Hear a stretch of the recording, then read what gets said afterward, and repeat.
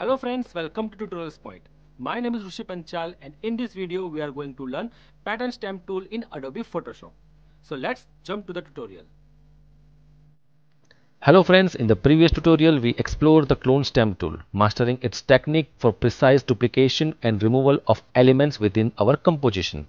Today we are diving into another essential tool within the same category, the pattern stamp tool.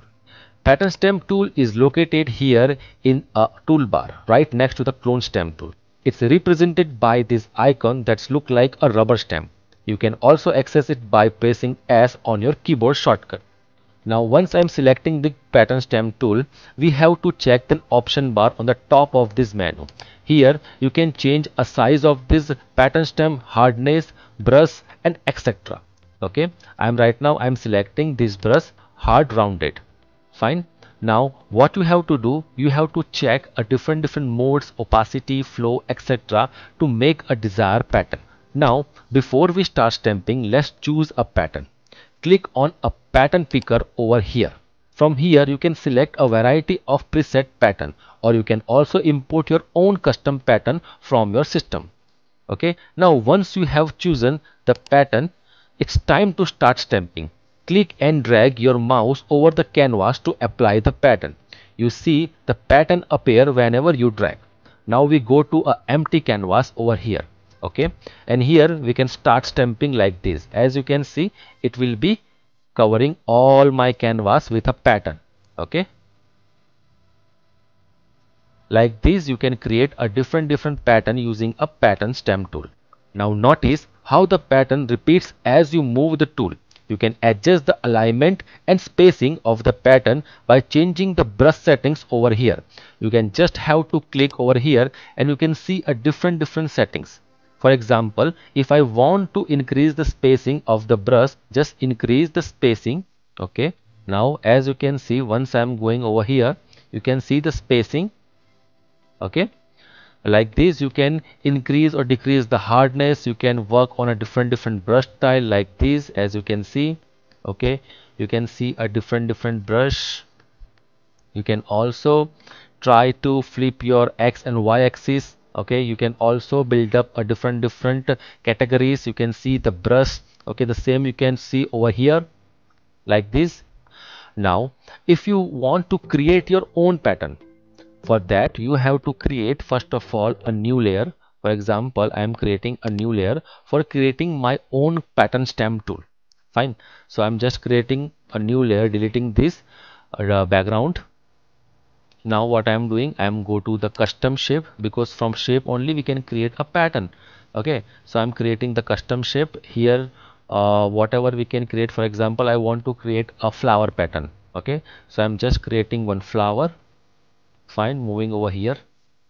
So I want to create a pattern something like this. So friends first of all as you can see we have created a red flower but there are too much spacing around this flower. So first we have to remove this spacing. For that we have to trim this. So select this layer and go to image.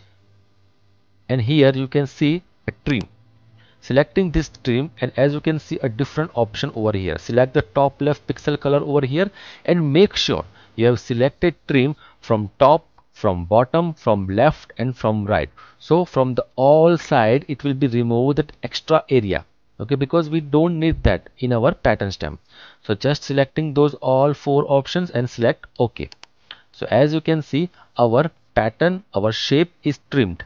Fine? Now the next thing is we have to create this shape as a pattern. Now to convert this shape into the pattern we have to select this shape and go to edit. And here you can see define pattern.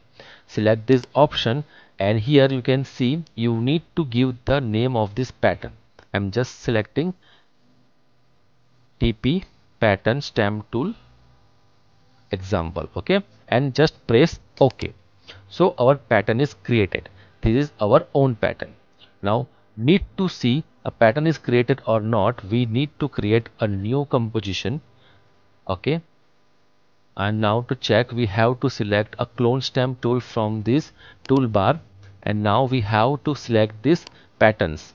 And as you can see here our pattern is created. Okay just double click on it and I'm just changing the brush. Okay. I'm selecting this brush. Increase the brush size. So as you can see guys our pattern is created. So this pattern is created by ourselves so guys use your own pattern to create a different different pattern. So guys like this you can create your own pattern using a shapes if you don't know anything about shapes then you can check our a shape video in Adobe Photoshop. Okay you can see the link in the description. Also you can check from this link over here. Okay?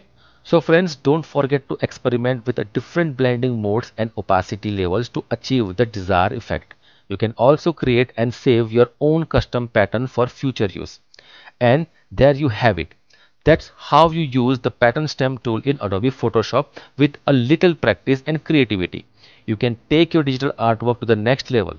Thank you for watching. If you found this tutorial helpful, be sure to like and subscribe for more Adobe Photoshop tips and tricks. See you next time. Thank you so much.